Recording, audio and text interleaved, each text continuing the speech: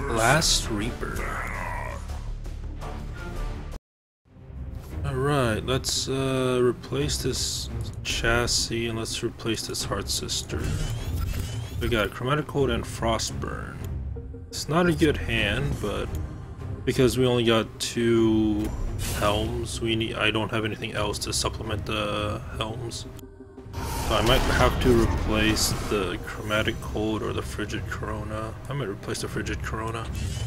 We get Enfeeble, which doesn't really help in this situation.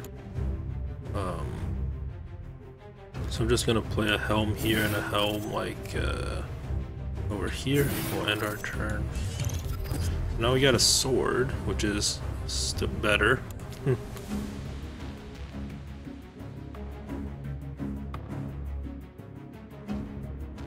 Now I'm playing one card behind, the opponent does have five, and um, I, I want to say the board position is more or less equal considering it's a Gloom Chaser and Wraithling, and it depends what he plays right now. Shadow Sister. I mean... Okay. Alright, so... Let's just wipe the board for now. We're, we're just gonna go over here, play a sword on the mana spring. So now we have two mana left. We'll just chromatic cold this Shadow Sister so he's not gonna get the benefit. And then we'll attack the Gloom Chaser and attack this Wraithling. So now I all I have is a sword and all he has is a um, dispelled Shadow Sister, and we got a Frigid Corona, which I might replace again because I need I need either better spells or mechs in general. Or even like a Hearth Sister, that would be nice because I do have my Bloodborne spell next turn.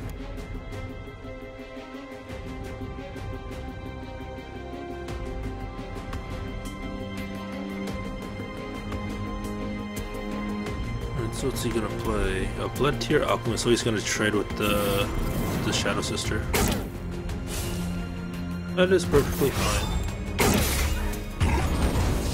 Then I'm going to replace the Frigid Corona. Um, and I might save the Frostburn, maybe not. Let's, let's see what I draw first. Enfeeble, so we got two Enfeebles, but... Um, yeah, let's just do our Bloodborne spell. Move back a little, and we'll end our turn there. Got another sword, so th this will be our fourth mech.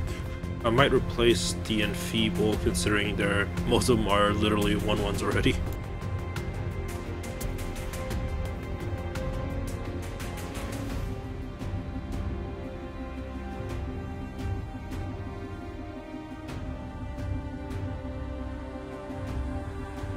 So I'll only play with the five cards he has. A Cryptographer.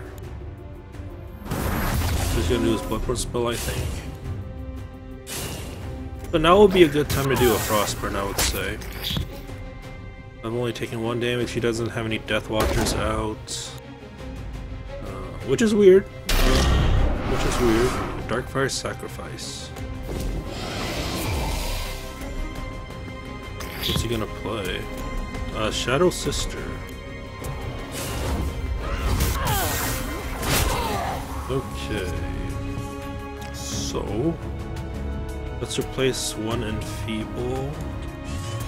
So we got a Dancing Blades.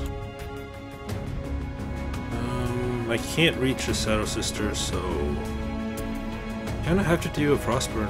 Uh, yeah, I think I, I think I have to do a Frostburn next turn. I don't know. Uh, maybe I'll set up with an Enfeeble first, but... Uh, so we have 6 mana, let's just play an Enfeeble there, and we'll just play a Sword behind us, and we'll end the turn. Uh, I think that works. And then next turn we can do a Frostburn, and if he plays anything more with uh, health, I can swap... Oh, never mind. I can just do a Bloodborne spell.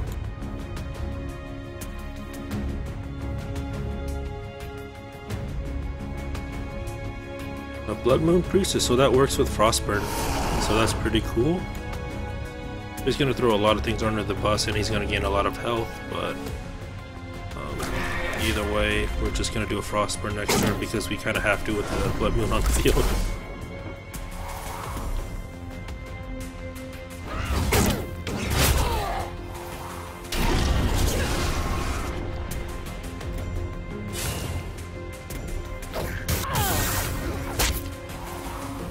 Gonna need to replace the Dancing Blades. Hopefully I get something uh, castable.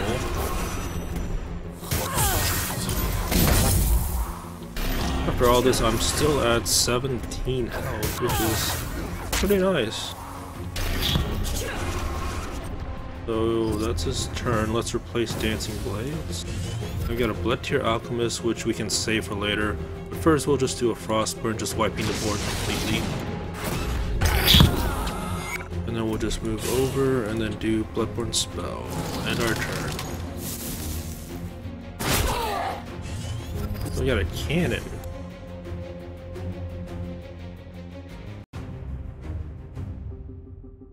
So I think this will be our fourth. If I've been keeping track right. It's either the fourth or the fifth. I remember the two helms and the frenzy. A spectral revenant, that's not good. and I don't have my bloodborne spell, so that's kind of uh let's just replace our bloodtear alchemist. Or yeah. We got an enfeeble.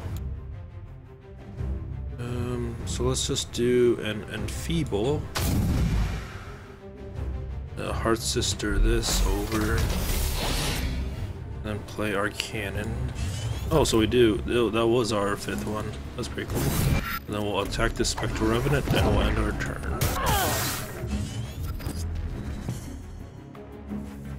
So then next turn, assuming he doesn't kill me with the two cards he has in his hand, we can do 8, 9, 10, uh, never mind. We can do 8, 9, 10, 11, 12, 13, 14.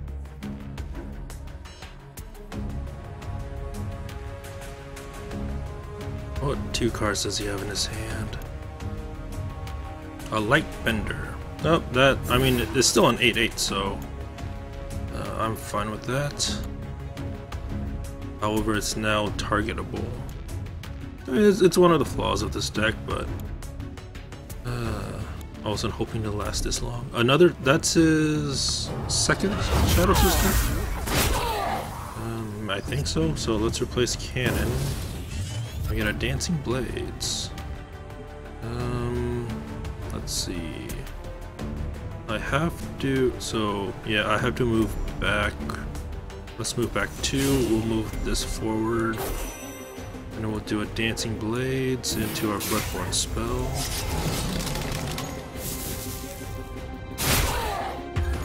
Um, I'll move this over here.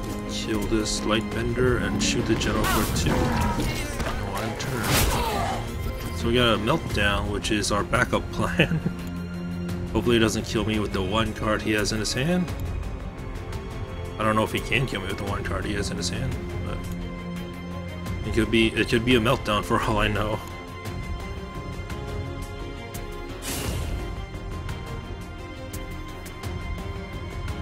Bloodborne spell.